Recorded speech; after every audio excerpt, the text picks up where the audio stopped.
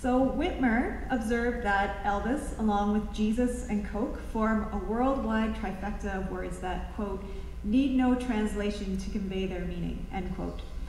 The image of the Elvis impersonator or tribute artist is ubiquitous in today's society.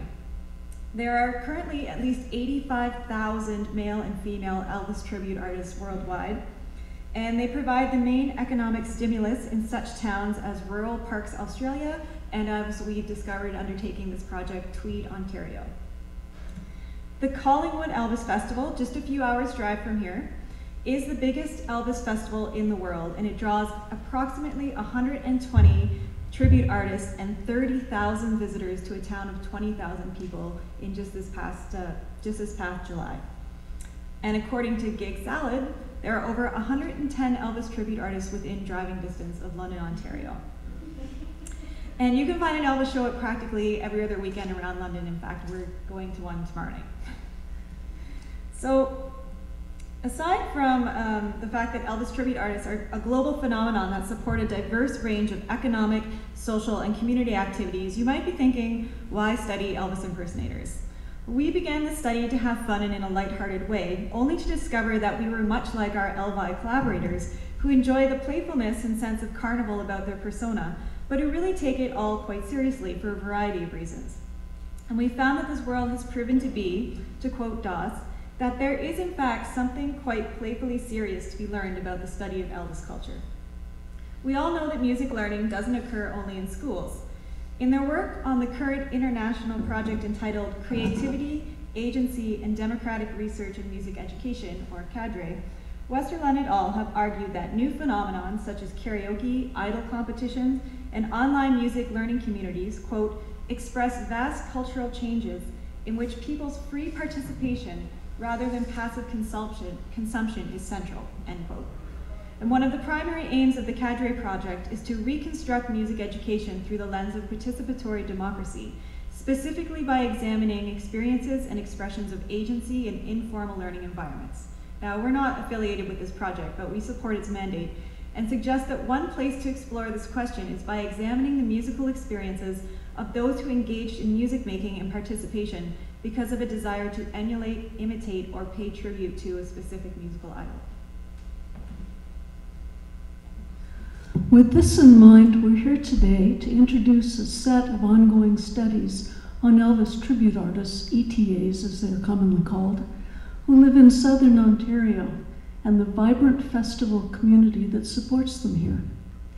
In the 25 interviews that we've conducted over the last five months with ETAs and festival organizers, we found that Elvis and Elvising is uniquely supported in this area of the globe.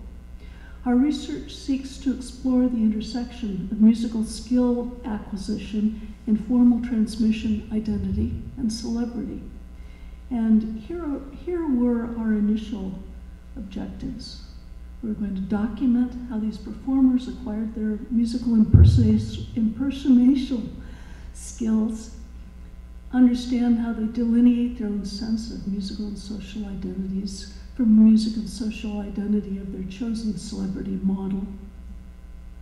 Understand how these performers continue to generate new musical dimensions and interpretations within a genre of performance practice premised on the musical template made famous by another, and support the support, understand the support and mentorship processes of the wider Elvis tribute artist community, which includes festivals. As is common in qualitative research, however, we added to our list of objectives as we engaged in ongoing data collection and analysis and began to uncover common, if unlooked for, themes.